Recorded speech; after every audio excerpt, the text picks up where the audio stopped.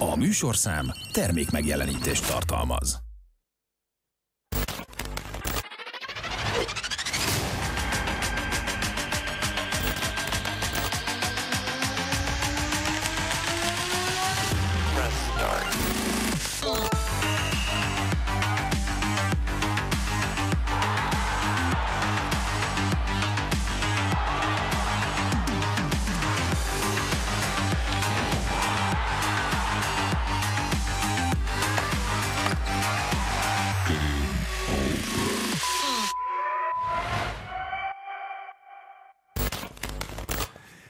Estét kívánok, sok szeretettel köszöntök mindenkit. Egy különleges adás ez a kezdő körben, részben, mert szezonzáró, úgyhogy most tulajdonképpen összegzünk, részben pedig azért, mert ezúttal nem három, hanem két vendéget hívtam, de úgy voltam vele egyrészt, hogy Mind a két vendégem csodálatos beszélőkével rendelkezik, úgyhogy harmadikat már felesleges hívni. Másrészt óriási rálátással rendelkeznek a Fehérvári, a magyar és a nemzetközi sportra, és külön személyesen pedig legkedvesebb barátaim és kollégáim. Ráadásul egy kicsit én is letoltam a hajamat, de annyira nem tudtam, mint ők, hogy mégis abszolút egységes legyen a stúdió kép, úgyhogy itt van velünk Kajzer Tamás, barátom, kollégám, aki annak idején kitalálta, vagy együtt kitaláltuk ezt a műsort, jelenleg a sportál.hu szerkesztője, és Horog László, aki pedig mindennek a mindene, és mindenről mindent tud. Csak nem tudom, hogy kerültem ide.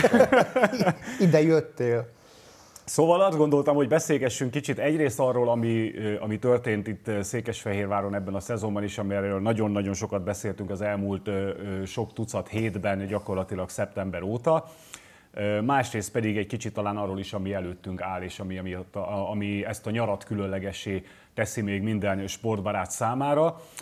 Én azon gondolkoztam, hogyha ilyen nagy általánosságban kéne valami hasonlatot mondani, hogy milyen volt ez a szezon, akkor az a közmondás vagy szólás jutna eszembe, hogy az íre a pont, ami, ami sokszor ugye pont a lényeg, és, és nem véletlenül van egy ilyen mondás, hogy, hogy nem tudja valaki föltenni az íre a pontot, mert ez azt feltételező, hogy egyrészt rajzolt egy nagyon szép íbetűt, ami már általában egy komoly teljesítmény, csak megkoronázni az utolsó pillanatban nem sikerül, és hogyha a Fehérvári Sportnak több csapatára, meg több történésére gondolunk, akkor, akkor egy kicsit ilyen érzésem van, hiszen nagyon-nagyon örültünk a hokisok szenzációs alapszakaszának, ami aztán a rájátszásban ugye egy, egy horrorisztikus, de mégiscsak gyors kieséssel zárult.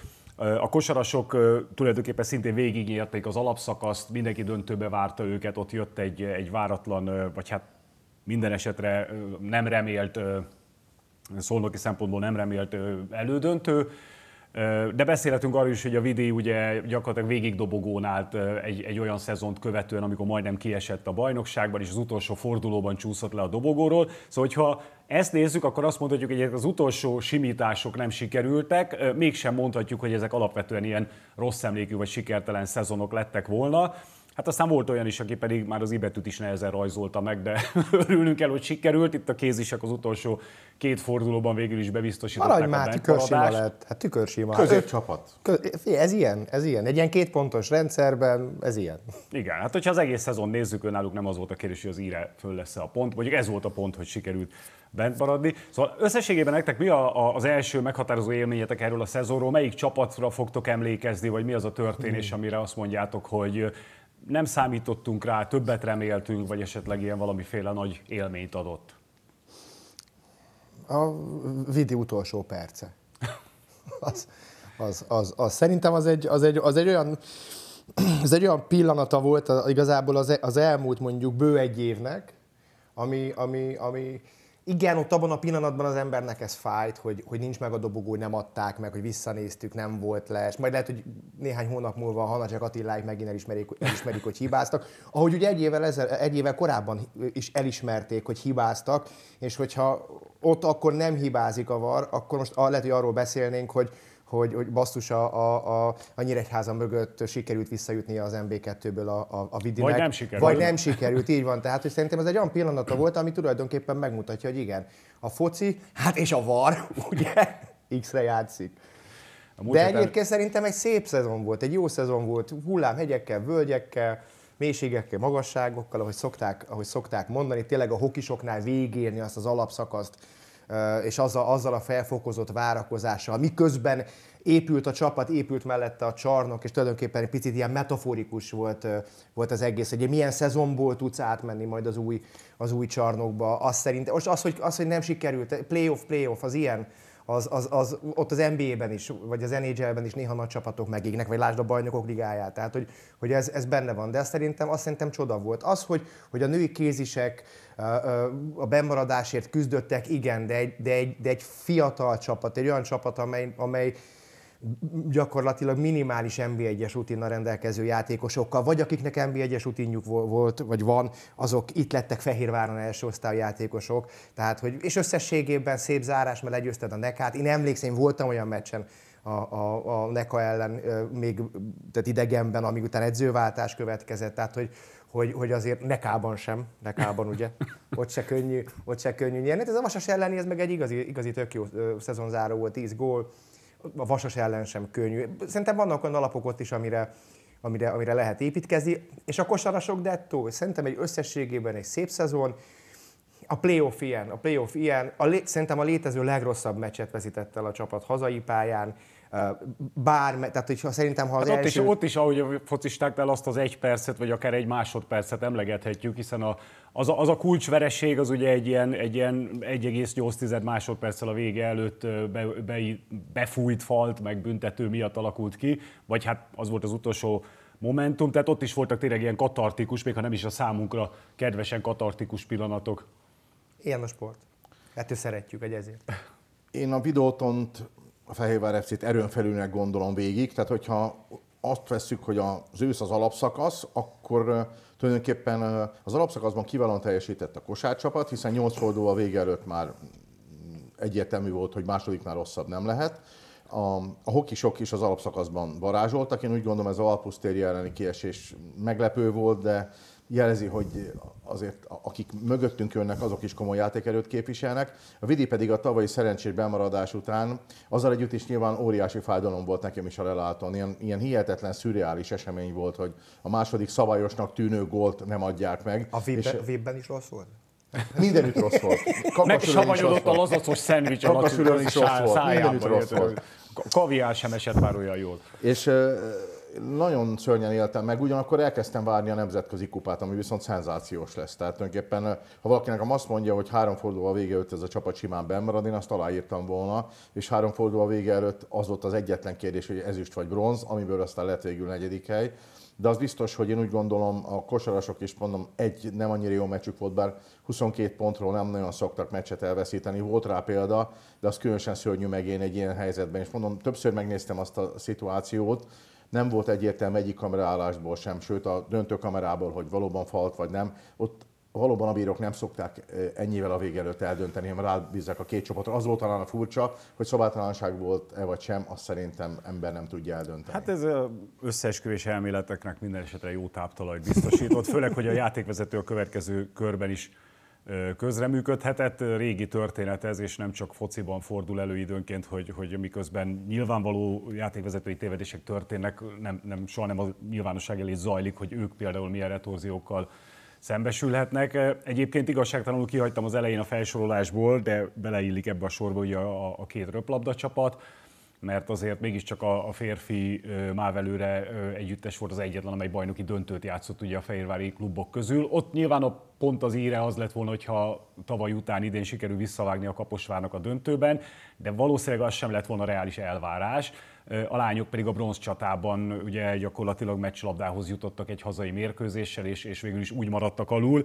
Tehát végül is ez is beleillik, de összességében, hogyha a Fehérvári Sport kirakat csapatait nézzük, szerintem tényleg soha rosszabbat, főleg úgy, hogy, hogy hát milliószor kiveszéltük, hogy, hogy brutális mennyiségű kínálat, vagy néha kínálat már szerintem azon, azon is lehet gondolkozni, hogy ez esetleg már nem túl kínálat-e. Tehát, hogy, hogy, hogy Női egy, kosarasok feljutottak egy... az átcsoportba, tehát meg lesz a nagyjából 11. élvonalbeli együttese is Fehérvárnak, ami azért Hát nekem egyébként az, idei, az, ide, az, az 2024-es esztendő élménye az női kosárlabdához fűződik az olimpiai selejtező Igen. Nem annyira pozitív élmény. És ott se pozitív. Nagyon-nagyon sokáig Valahogy pozitív minket a volt. sorst, úgy látszik. Nagyon-nagyon sokáig, de egyébként a, a, a nagyváltomi nemzeti sportos videós kollégával mi rontottuk el, mert szünetbe kimentünk, azt hiszem akkor plusz 19 volt, és elkezdtük emlegetni a Sydney kézilabda olimpiai döntőt, utána a VB döntőt, a Veszprémnek a plusz 10-re elveszített döntőjét, és így mondtuk is, Jó, hogy mondtad a nehogy, Veszprémet. nehogy, nehogy, nehogy rossz szó men legyen, az lett. Jó, hogy mondtad a Veszprémet, mert, mert még a végén ránk fogják, hogy csak a női csapatokkal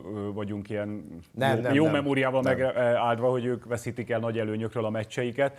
De, de összességében egyébként valóban az, hogy például, hogy feljutott most a női kosárlabda csapat, és hogy lesz most már tizen, nem tudom tényleg, tehát a, a még, még csak két éve, hogy, hogy megbarátkoztunk vele, hogy röplabdában is újra milyen nagy hatalom lett Fehérvár, most jönnek a női kosarosok, akik szerintem 30 éve nem voltak élvonalban, ott van a teke, milyen sokat beszélgettünk ugye a fehérvári tekésekről, a rögbisek. Hogy jövő héten annyi- itt lesz teke.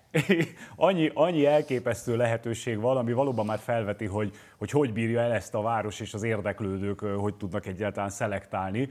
De, de hogyha visszatérünk, akkor tényleg egy kicsit lebontva a különböző sportágakra. ö, Én nekem az volt a- az érzésem, hogy a, a, a, aki talán az igazán jó szereplés ellenére, vagy a szezon egy részének nagyszerű szereplés ellenére, vagy éppen azért a, a legnagyobb csalódást talán a hoki szurkolók élték meg, mert, ö, mert annyira sporttörténelmilyen nagy alapszakaszt csinálta Volán, egy, egy nagyon fiatal, mindenki számára szimpatikus magyar fehérvári vezetőedzővel a kispadon, hogy, hogy hát tényleg, ahogy Tomi is mondta, mindenki abban azon volt, hogy milyen csodálatos átmenet lesz ez az új csarnokba, búcsú a régitől, eh, de hát a sport az ilyen, és aztán ugye ebbe bizonyosodott, hogy tényleg, ahogy klasszikus kabaram mondta, az ellenfél is a pályán van. De egy, szerintem, szerintem így is, így is ö, ö, olyan élményekkel mennek át a, a fehérvári szurkolók az új csarnokban majd, hogy, hogy, hogy tényleg az egész, hogy főleg, hogyha ide veszük a válogatottat. Hiszen a válogatott az mindig egy Hát picit... az utólag mondjuk az igen. mindig, az mindig egy picit fehérvári, az mindig egy picit a, picit a magunképnak érezzük, mint Szolnokon, vagy, vagy akár, akár Budapesten. Hiszen, hiszen nagyon-nagyon sok fehérvári van, fehérvári edző, dirigálta a, a, a, a normál, ne- nem speciális játékot, sőt, hát ugye voltak azok a hírek, hogy, gyakorlatilag Kis Dávid Dudu meccset a, a, a, a papa helyett. Tehát Így is történt. tehát, hogy, hogy szerintem, szerintem így is. Az, az, hogy volt két, már volt két válogatott mérkőzés, feljutott az alcsoportba a válogatott, Avolán behúzta az alapszakaszt. No, a playoff ilyen, tehát hogy, szerintem jó szájízzel megy át a, a, a szurkolótábor a, a, az új csarnokba, és lehet itt is tényleg látni a, a, az, a, azt a fajta hidat, ami persze az lett most, de egyébként mást mondtál volna, hogyha, hogyha elmész az elődöntőig, és az elődöntőben esel ki? Tehát itt igazán katartikus az egy, az egy, az egy ice hockey bajnoki cím lett volna. Én azt mondom, hogy így is fantasztikus, és így is, így is csodaszép, ahogy átmegy a csapat. Mert ez előfordulhatott volna, hogy átmegy úgy a csapat, hogy 11 az alapszakaszban, köze nincs a, a, a, a playoffhoz, összekukázott légiósaid vannak, azt látod, hogy mondjuk a magyar játékosok elvágyódnak, vagy bár, tehát hogy, hogy azért volt, vo- voltak azért nehezebb időszakai is a, a, a volánnak, de szerintem ez tök szép, ez tök rendben van, ahogy átmegy a csapat. Abszolút így értem én is, hogy ez egy nagyon jó szezon volt egyébként négyik csapatnak valóban, hiszen arról beszélünk, hogy a pont az íre, nem, hogy nem sikerült tényleg még csak meg se rajzolni azt az íbetűt. Inkább azt mondom, hogy, hogy a, remények vagy a, felfokozott elváráshoz képest mennyire volt aztán keserű, hogy nem sikerült a, a szurkolók által már látott végzetet beteljesíteni. De hát nyilván igaz ez a, egyébként a kosarasokra is, akik pedig hát a, a Falkóval együtt olyan szinten emelkedtek ki a mezőnyből az egész alapszakasz során. Hát azt a szolnokot, amely végül őket búcsúztatta, ugye az alapszakaszban hat győzelemmel előzték meg. Tehát hat meccset kellett volna játszani, hogy egyáltalán a szolnoknak esélye legyen annyi pontot szerezni.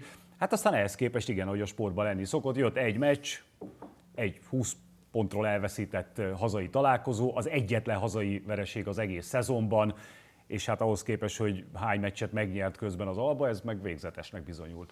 Visszatérve még a Tomi által mondott túlkínálatra, szerintem is az van, tehát bejött a két röplabda, ami igazából a város anyagi erejét, illetve a, a sportági beágyazottságát tekintve nem következhetett volna be, hiszen ez egy amerikai tulajdonú cég, ráadásul nem is a mi megyénkben. Itt szerintem ilyen minőségi szinten ez addig zajlik, amíg a tulajdonos, illetve a mögötte lévő üzleti kör azt mondja, igenis én ezt akarom támogatni. De ez még a jobbik eset, mert akkor itt legalább valóban üzleti kör, meg tulajdonos támogatja, és mondjuk nem a városnak kell plusz egy vagy két csapatot eltartania. Az biztos, hogy le a kalappal egyébként a város előtt, hogy ilyen szinten tud ez működni. Nagy Gábor annak idején 20 évvel ezelőtt mondta, hogy hosszú távon nem tudja, hogy mennyire lesz finanszírozható ez a négy él csapat. És aztán az élet megoldotta, hogy kvázi az állam vagy eh, tulajdonképpen a, a kormányzathoz tartozó cégek a Videóton futballcsapata kapcsán óriási segítséget nyújtottak, és így a városnak felszabadultak olyan anyagi erői, amit a kosárlabdára, a jégkorongra és a női kézilabdára fordítanak. A női kézilabdának egyszerű a léte, ugyanis úgy gondolom, hogy egy logikus érv a Városháza részéről, hogy eh, kell, a lányok előtt is kell egy olyan modell, gyakorlatilag, hogy itt elkezdi a bölcsődét, itt eh, elvégzi az általánost, a középiskolát, a főiskolát, az egyetemet, itt válik üzletasszonyá, vagy egyszerűen csak egy alkalmazottá, de mégis kifuthat egy sportkarrierje úgy, hogy kiteljesedhet, és nem kell vándorolnia sehova. Ilyen szempontból kell egy kivezetés, és a női kézzelabda erre alkalmas, mint ahogy az is abszolút normális érv, hogy a financiális tekintetben az alsó régióhoz tartozik a csapat, amit gyakorlatilag az eredményei is mutatnak, mert ez a csarnok sem igazán alkalmas többre. Még felsejlik előttem az elmúlt 15-20 év, hogy ott minden évben kiment a nemzetközi porondra a csapat, erre Kajzi ugyanígy emlékszik, mint én, de ez a csarnok, ez, a, ez, a, ez az anyagi lehetőségrendszer, ez, ez pont erre elegendő, de női sportban is kell évvalbeli csapatnak lennie. Mondom, a röplabdát majd eldönti az élet, hogy merre sodródik, de a női kézilabda úgy gondolom lesz is, mint ahogy pont 31 évvel ezelőtt, 1993-ban jutottak fel először az élvonalba a köfémesek, és, és aztán megragadtak később 15 évvel ezelőtt, és én úgy gondolom, hogy jó is azokat a meccseket nézni a csarnokban. Most hát, már kicsit meleg volt vasárnap. Télen meg Télen meg hidegebb hideg. van. Azt mindig, mindig a Kisburzolival szoktunk ezen viccelni, hogy az a jó a csarnokban, ez az átlaghőmérséklet, az hibátlan. ja, igen. Hát a, annak idején uh, Lánk Hugó bácsiak, aki ebben a városban azért nagyon sokak tiszteletét joggal vívta ki, neki matematika tanárunk volt a Telekiben, és, és az egyik legjobb matematika tanár, aki engem valaha tanított, tehát hogy én nála egyedül értettem a matematikát, majd hogy nem. Ő meg nem értett, hogy én miért nem értem. Igen, tehát... igen. Tehát ő tényleg el tudta magyarázni, és ő nagyon kényes volt rá, amikor valaki ezt mondta, hogy, hogy átlagban, akkor mondta, hogy hát ha egy ember az egyik lábával egy jégdarabon, a másikkal egy tüzes vason áll, akkor átlagban pont jól érzi magát. Tehát körülbelül így kell ezt is használni akkor a jégcsarnokra, illetve a nyári eseményekre.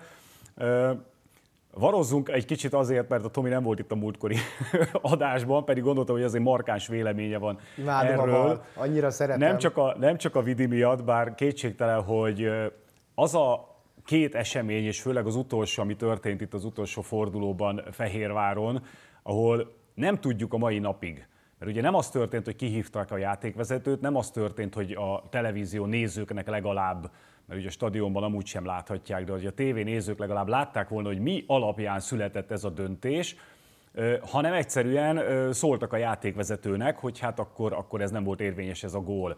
És nagyon sok ilyen esetet láttunk a világfutballban is, meg olyan esetet is, amikor mi már előbb tudtunk tévénőzők, hogy milyen döntés fog születni, mert hát látjuk, hogy ki fogják hívni a játékvezetőt, tudjuk, hogy ha már kihívták, akkor nagyon ritkán marad a pályán, jóváhagyott ítélet.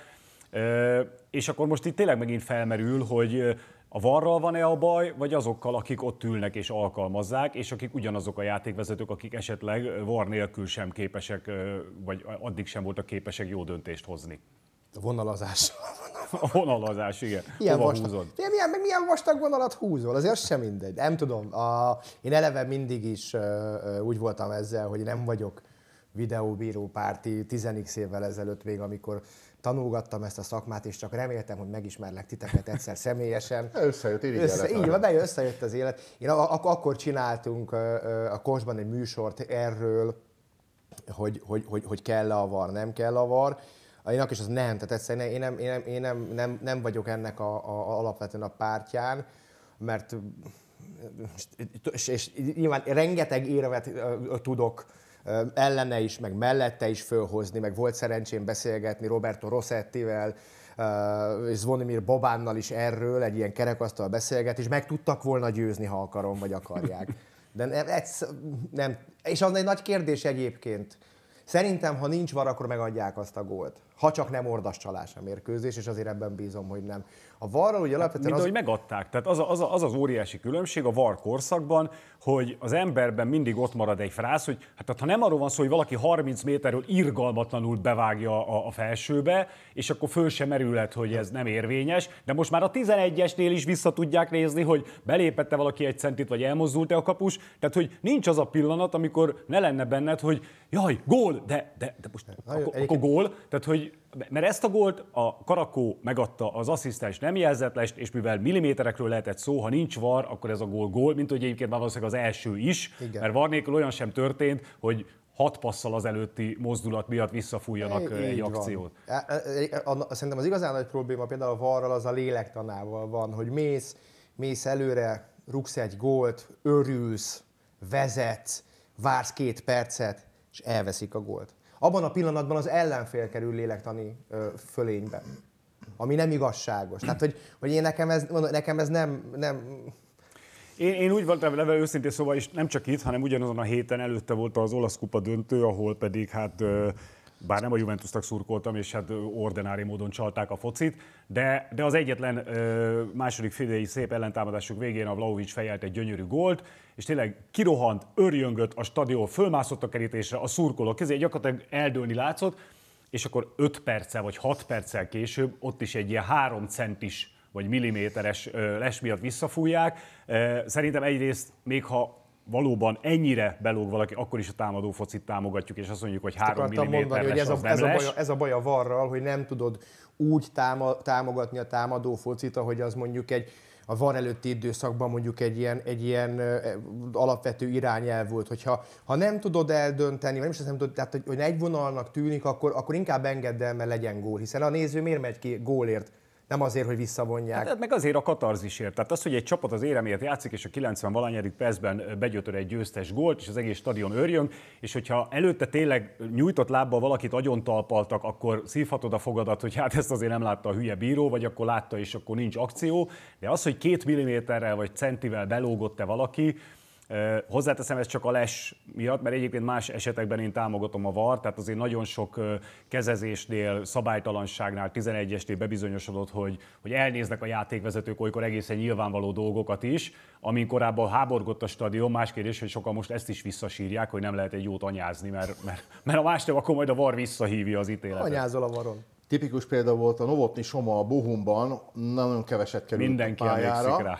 És uh, volt egy gól, amit megszerzett, nem sokkal később aztán Ciprusra került, de ő például az élete élményét vették el majdnem, és így is hát nyilván a tompítottak az élén, hogy gólt szerzett, és is perceken át nem tudta, hogy... Tehát nyilvánvalóan egy Veszprémi fiú kikerül a Bundesligába, számomra is meglepő volt, és nem is maradt ott sokat, de az biztos, hogy, hogy mondom, ott és akkor azt az elképesztő katarzist vették el tőle, és aztán mégis befújták, próbált újra örülni, de az már nem ugyanaz az érzés, ez a második hullámban örült. Igen, nem gyere, gyere, gyere, örülj még egyszer, figyelj, már megadták, gyere, gyere, Fot- nagyon jó. Fotóznak, fotóznak. Láttuk, hogy egyébként ilyet is lehet, hogyha például ugye a Real Madrid szerzett úgy gólt itt a, a Bayern elleni visszavágón, hogy először behúzták lesnek, és akkor hát mindenki csalódott volt, nem is nagyon reklamáltak, aztán szóltak a játékvezető, mégse volt les, és akkor olyan őrjöngés kezdődött, mintha abban a másodpercben vágta volna be a, a Rüdiger a Az ellenpélda meg a másik oldalon, hogy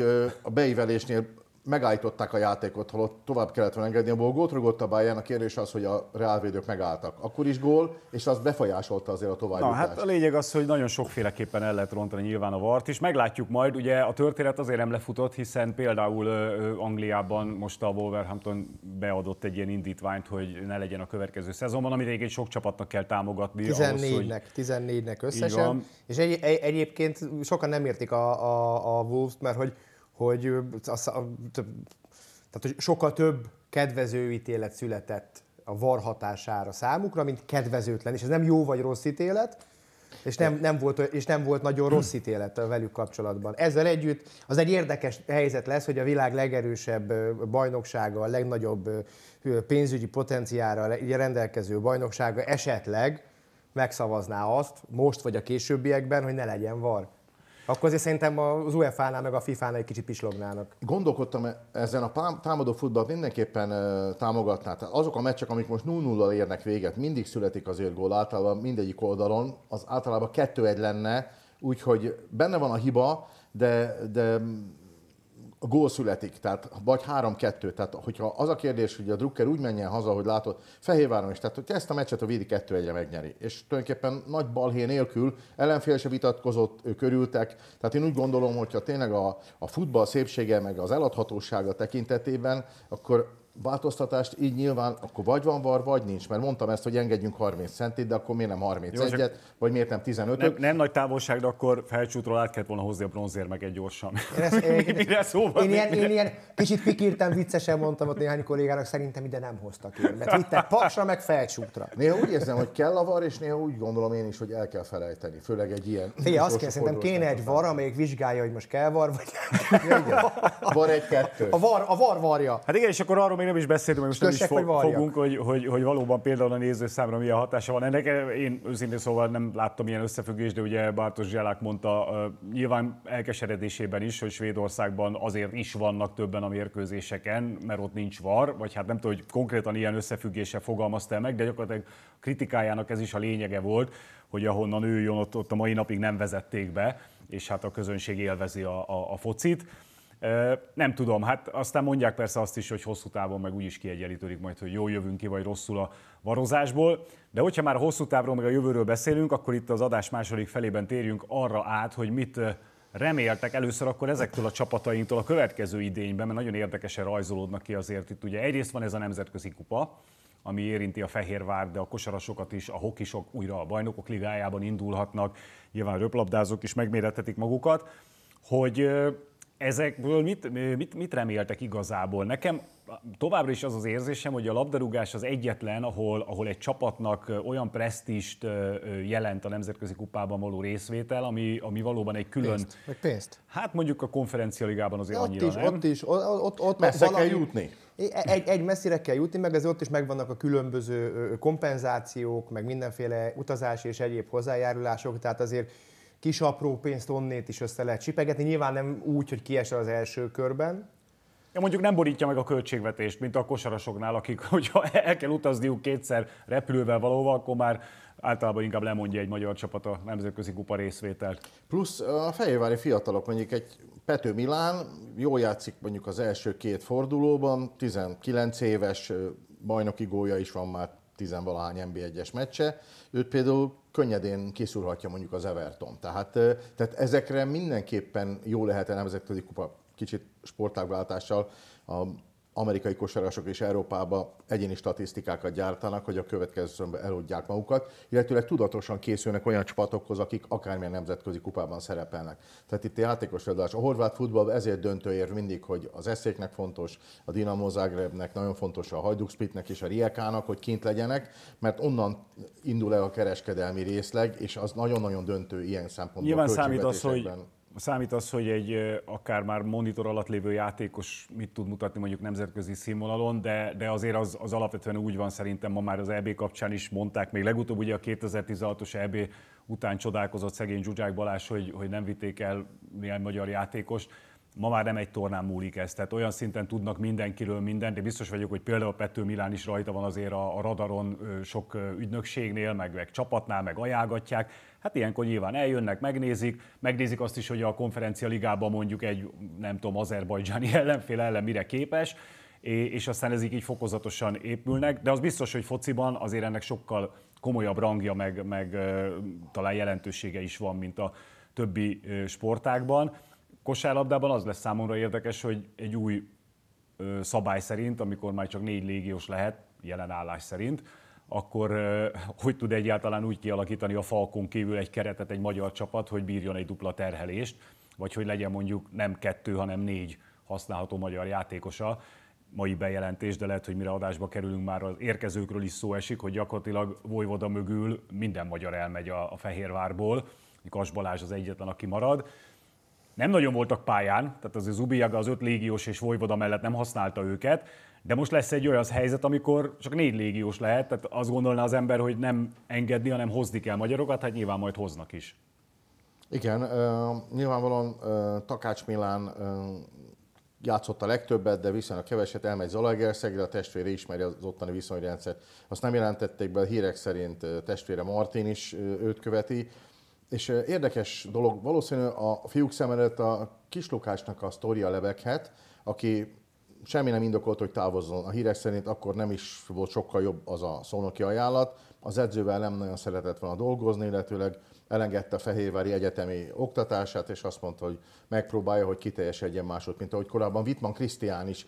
Itt mindig a mi gyerekünk maradt volna, és ő is elment, elkezdett vándorolni, és egy nagyon komoly karriert futott be. Tehát úgy gondolom, ezek a fiatalok, akik szintén most Lukács után távoznak, azt vizionálják, hogy ők is a, e, e, arra a szintre juthatnak, hát egzisztenciálisan is. Úgy kellene játszaniuk, azért Lukács Norbi jóval nagyobb tehetségnek volt szerintem, és igazolta is a rendelkezésre álló idő alatt, hogy, hogy komolyabb potenciál van benne, de hát persze sok sikert kívánunk azoknak, akik távoznak. Aztán ez majd felveti, hogy, hogy mi bebízhatunk nem csak a nemzetközi, hanem a magyar bajnokság, vagy a következő idényben, mondjuk egy év múlva ilyenkor miről beszélünk, hogy melyik klub tud majd kellemes meglepetést okozni. Nyilván az elvárások mindenhol óriásiak lesznek. A hoki szurkolók nem úgy ismerjük, mint akik egy ilyen, ilyen év után úgy mennek neki a következő szezonnak, hogy jó, hát csak jussunk be a playoffba.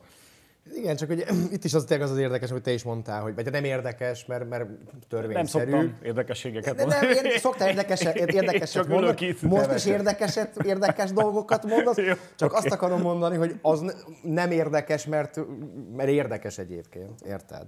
Szóval, hogy ugye a foci mögött gyakorlatilag az összes, az összes csapatsportág, az gyakorlatilag küzd ezzel a nemzetközi kupát, hol helyezzük el, Azért láttuk az elmúlt 10-20 évben, hogy egyébként mondjuk a korábbi években nagy gazdasági potenciállal bíró, bíró akár skandináv ö, ö, csapatok kézilabdában egyik pillanatra a másik romlottak össze, mert, ne, mert, mert nem volt az a potenciál, összevásárolták a világsztárokat, az kiderült menet közben, hogy nem tudják fizetni. De ez férfi kézilabdában is előfordult. Ugye a hírek szerint ugye Nedim Remili Veszprémbe érkezésével mentették meg ugye a plockot anyagilag. Kielcét. Vagy kibocsát a kielcét, így van, így van. Tehát, hogy, hogy, hogy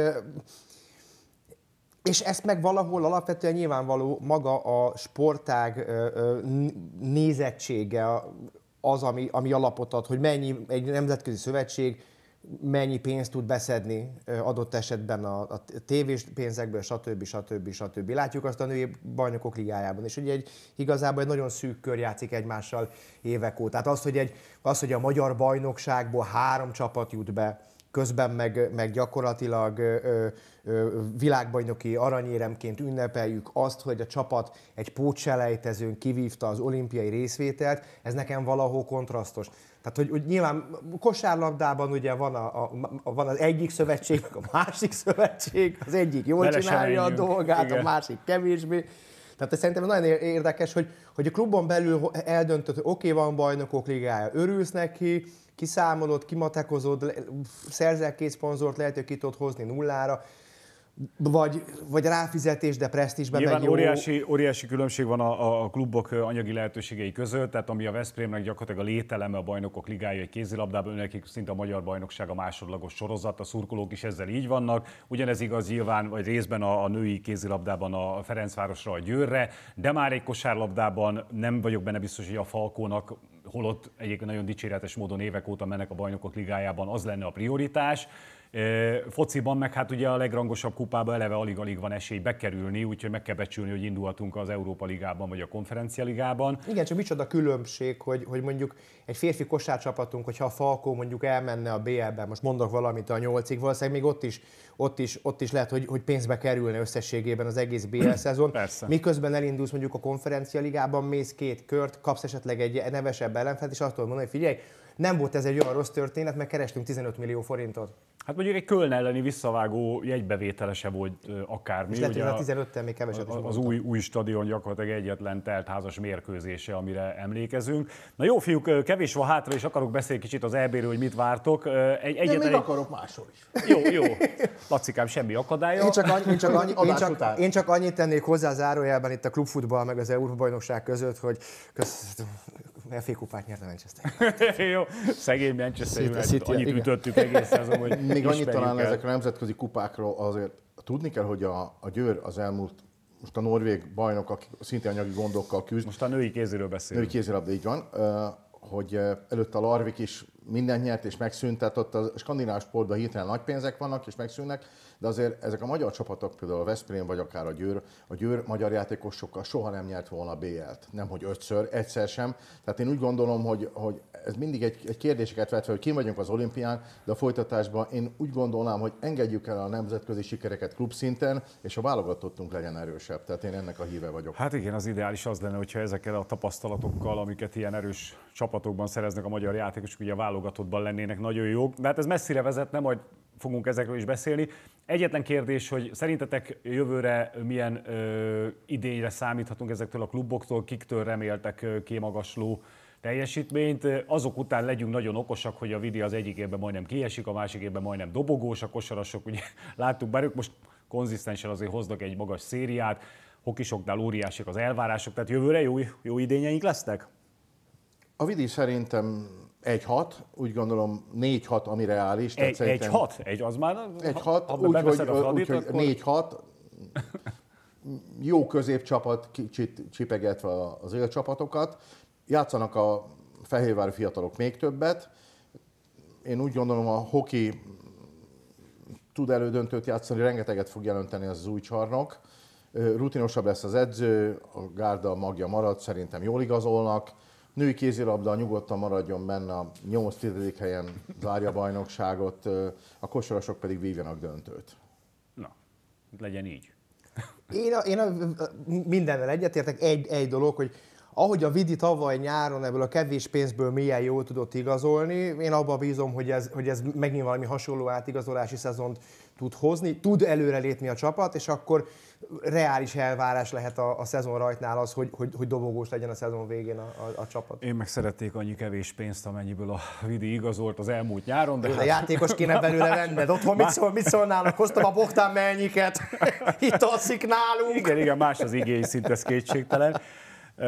Na hát, ha már reális elvárások, tovább juthat-e a magyar válogatott a csoportjából az EB-n? Nem ez a kérdés, mert hat, persze, hogy tovább jut hat, hát nyer két meccset és tovább jut.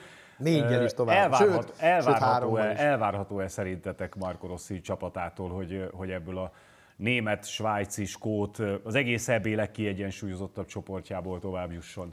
Én szerintem igen. És méghozzá pont azért, amit tegnap mondott Márkó Rossi a sajtótájékoztatón, hogy van a szurkolókban egy iszonyatosan fölfokozott várakozás.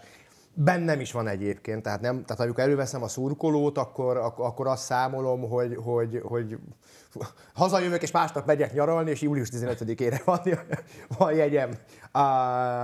De hogy, hogy az, amit Márkó Rossi tegnap mondott, hogy az elmúlt egy évben, vagy az elmúlt években ez a csapat olyan magasra tette a lécet, hogy igenis lehet a szurkolóknak felfokozott várakozása, és igen, belemehetsz egy olyan ö, ö, csoportba, mint a miénk most, hogy azt mondod, hogy igen, tovább szeretnék jutni. Aztán, hogy majd mi jön, mit, mit tudsz kezdeni már az első mérkőzésen egy pokolian nehéz ellenféle. Szerintem az egész csoport legnehezebb ellenfele lesz számunkra, Svájc, még hogyha, még hogyha hallottam olyan véleményt egyébként szakértőtől, hogy ott lehet két-három góllal nyerni.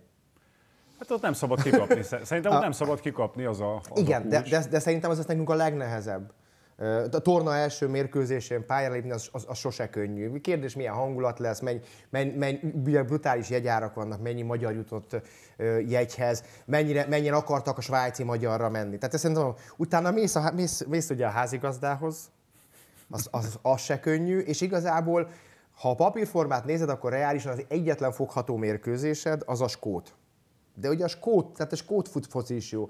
Csak amit, és ugye ezt is Rossi mondja, és ez tök jó szerintem, hogy, hogy igen, hogy nagyon-nagyon sok olyan mérkőzést játszottunk az elmúlt évben, az elmúlt években, amikor nem mi voltunk az esélyesek. De egy x jók voltunk.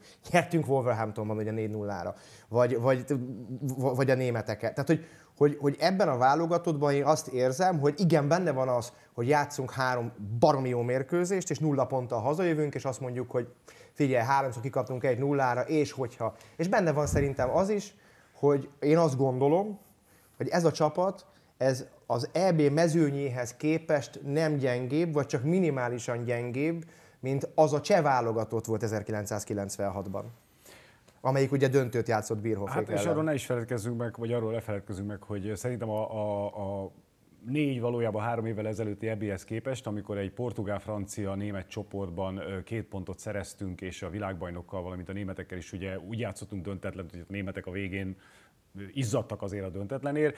Ehhez képest szerintem azért csalódás lenne, ha akár a svájci, akár a, a skót csapattól nem, nem, vagy legalább az egyiket nem tudná megverni a magyar válogatott, még ha elvárni, meg szerintem nem is feltétlenül lehet. A kulcs az lesz, hogy nem kapsz ki a svájciaktól. Én úgy gondolom, nézve, hogy hol játszanak azok a futballisták, és mennyit, mert ami nálunk azért mostanában kevesebbet játszanak, ezek a kulcsjátékosok. Ez nem olyan nagy bajám egy EB előtt. Tehát, valóban, arra, valóban arra, gondol, arra gondolok, hogy Szoboszlai itt a, a szezon vége felé lett ugye egy kicsit pihentetve a Liverpoolban, vagy Kerkez, aki kirúgta magát, hál' Istennek a végén az utolsó néhány fordulóról, ugye? Tehát, hogy itt vannak nekünk olyan kulcsjátékosaink, de akár Sallait is mondhatjuk, Hát a védelemben mondjuk az nem akkora öröm, hogy, hogy Szalai vagy Lang kevesebbet játszott, de hogy ez a válogatott ezért ez nincs kisajtolva ebben a szezonban, ellentétben mondjuk azzal a némettel, ahol a, a Gündogan 4000 perc fölött töltött a pályán, és egy Barcelonában. Ami örömtelő, hogy Schäfer visszatért, jól játszott, benn maradt, a Gulácsi tegnap hosszabbított a Lipcsével, tehát vannak itt előremutató jelek. Azzal együtt a Svájc nekem jobbnak tűnik játékos állományra is az elmúlt világversenyeken mutatott teljesítmény alapján, de úgy gondolom, hogy nem annyival jobbak, és játszhatunk egy döntetlent. A németek nagyon rosszak voltak az elmúlt egy évben, de otthon nem lehetnek annyira Másfél. kutyák még egyszer. Különösen az elmúlt egy évben valóban hát az, botrány, az, utolsó két, az utolsó két meccsük az már egészen kiváló volt. Tehát a hollandokat és a franciákat is megverték. De előzőleg, aki szembe jött Mexikótól, Japánig, mindenkitől Volt, volt egy krízisük, ez kétségtelen, csak Toni Kroos személyébe visszajött a világ jelenlegi talán legjobb formában lévő középpályása. Nyugdíjasa? Hát, és megint azt tudnám mondani, mint az előbb, hogy én is szeretnék ilyen nyugdíjas lenni majd. A, a, sorsdöntő az a skótok elleni meccs lesz, amit elvileg meg kellene nyernünk, de nem ismerjük őket. Tehát tulajdonképpen róluk aztán semmi információnk nincs. Most modellezzük majd Dublinba azt a stílust, ami a Szigetországba dívik, de én úgy gondolom a skótok kapcsán senkinek nincsenek elképzelései. Nagyon nem ismerjük azt a futballt, néha belenézzünk a skót első és másodosztályba éjszakai műsorokba itthon a sporttelevíziókon, de az biztos, hogy négy ponttal tovább lehet jutni, de visszagondolva az elmúlt két ebénkre, hogy ott, ott azért úgy jutottunk tovább a csoportból, hogy Stork zseniálisan csak csatárokat cserélt, és addig-addig jöttünk, jöttünk, jöttünk, amíg egy öngóla végül egyenlítettünk. Aztán a legutóbbi ebén meg a németek ellen szenvedtünk, úgy estünk ki a döntetlennel, hogy ott is benne lett volna a továbbjutás. Tehát úgy gondolom, hogy nagyon apróságon fog ez múlni, és hát bízom benne, hogy lesz szerencsénk, mert hogy kell szerencse is a továbbjutáshoz, és négy pont az egész biztos. Hát a szerencséhez meg, meg tenni kell, és én, én, én azt látom, nekem most ugye volt szerencsém az elmúlt szűk két évben szinte az összes válogatott meccset élőben megnézni, hogy, hogy ez a csapat ez képes tenni azért, hogy, hogy legyen szerencséje. Fortuna csak annak a kezét fogja, aki, aki, aki ezt megérdemli. És igen, egyébként szerintem nem rossz, hogy, hogy, hogy Szoboszlai itt a végén már nem játszott annyit. Óriási áldás szerintem a válogatottnak, hogy Schäfer visszatért, hogy Orbán egészséges, hogy gyakorlatilag az a kérdés csak, hogy, hogy, hogy kivédjen Gulácsi vagy, vagy Dibusz, és hát a kupa döntőn láttuk, hogy Szappanos is azért oda tudja tenni magát, szóval szerintem, szerintem sok minden amellett szól inkább, hogy tovább megyünk ebből a csoportból, de aztán meg tényleg a realitás pedig az, hogy, hogy, hogy, hogy, hogy nem biztos, hogy, hogy, hogy van annyira erős focénk, hogy tovább kell menni ebbe a vágatottból, de ez, ez, és lehet, hogy a végén az lesz, hogy lefújják a skótpecset, és három napig még ott számolgatsz, hogy most elége mondjuk az a három, vagy adott esetben négy pont, hogy mondjuk... Négy pont, azt szerintem biztos, izé, hát hogy... ugye azért ne felejtsük el a csoport harmadikok közül Most a csoport harmadikra gondolok, hogy... Né- négy ponttal nem tudsz kiesni szerintem egy ilyen Akkor az, rendszerben. Csak mindegy, de előfordult, hogy számolgatsz három napig még. Igen. Hát számolgatni biztos, hogy fogunk. Két perc maradt az adásból, nagyon egyszerű kérdésem van itt a végén. Mivel nem csak Európa-bajnokságot rendeznek a nyáron, hanem a magyar sportkedvelők, sőt az összes magyar ember számára mindig kiemelten fontos olimpiát is, hány aranyérmet vártok a magyar olimpiai csapattól, és ezzel fogjuk indítani szeptemberben az első adásunkat, hogy ezt majd visszajátszuk. Mennyi, a- mennyi a realitás most? Megmondom őszintén, én nem is merném megtippelni. 3-12. Ja, jó, oké. 0-50. 5 vagy 6, 5 vagy 6.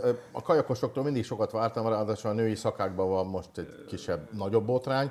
Hát a hat nem, nem, nem töltjük ki a kvót- kvótát. Hat megszerezhetőből van négy, tehát ott azért már megbicsaklott a sztori. Úszásban a kérdés az csak Milák tudja, hogy milyen állapotban van. Tehát itt mindig jönnek váratlanok 1980-ban Varga Károly, kisöbös sportpuska, 60 lövés fekvő, a semmiből. A, aztán Kovács Antal 1992 Barcelonában később mesélte már- nekem Pakson, hogy reggel hétkor fölkelt, és azt vette észre, hogy 10-kor olimpiai bajnok. Tehát azt se tudta 19 évesen, hogy mi zajlik körülött. Tehát ilyenek lehetnek, úgy gondolom 5-6, ez, én azt mondom, hogy ez rendben lenne. Hát és még mindig ott vannak a különböző oroszból, azeriből, innen-onnan megszerzett klasszisaink, úgyhogy még, még abban is bízhatunk, hogy onnan jönnek váratlan helyekről a, az érmek.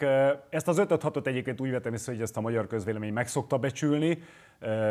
Elmúltak már Igen. sajnos azok az évek, a- még ugye Jugoszlávia vagy Szovjetunió felbomlása előtt, hogy tényleg ö, Szöulból tudtunk hozni 11-et, vagy Barcelonából utána.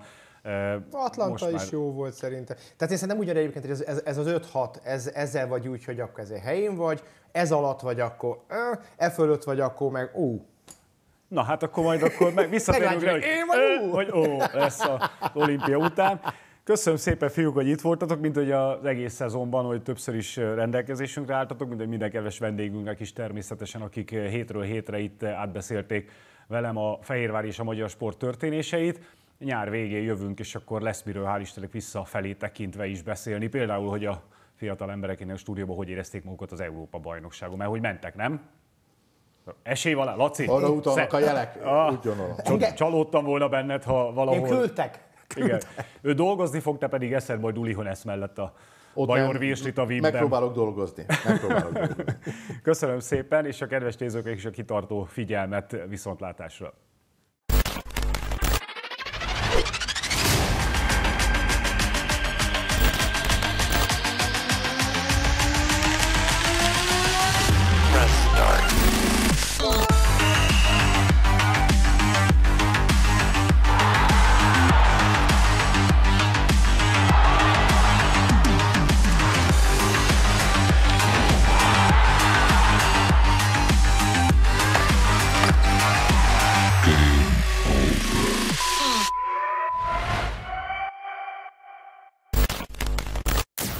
Műsorszám termék megjelenítést tartalmazott.